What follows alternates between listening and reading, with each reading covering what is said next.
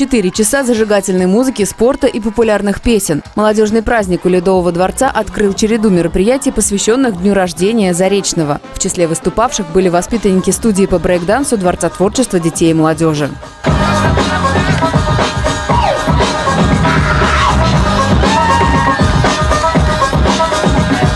Парни брейкданс покажут нам, как нужно танцевать сегодня, какие движения на дискотеке сегодня нужны будут, там на голове покрутиться или что-то еще.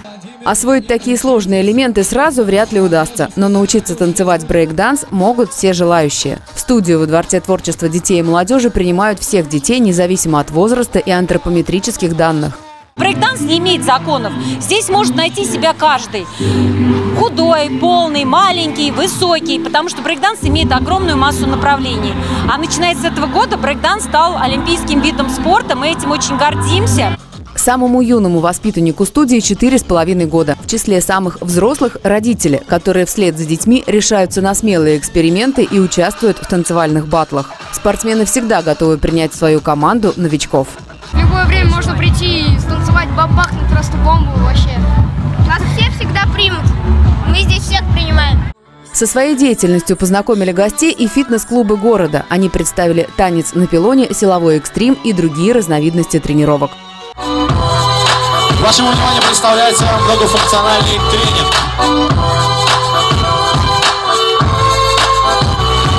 Инструкторы показали лишь часть направлений фитнеса, но уже этого было достаточно, чтобы понять, что в мире спорта каждый сможет подобрать для себя подходящее занятие. И в последнее время, отмечают тренеры, все больше зареченцев выбирают здоровый образ жизни. Наверное, еще с таким с этой ситуацией, с пандемией, люди начинают задумываться, как надо повышать иммунитет, но одними таблетками его не заработаешь, да? Поэтому надо заниматься, и я смотрю, стали люди больше приходить в клуб. Завершился праздник дискотекой под открытым небом. Популярные хиты исполнила пензенская кавер-группа «Балбесы».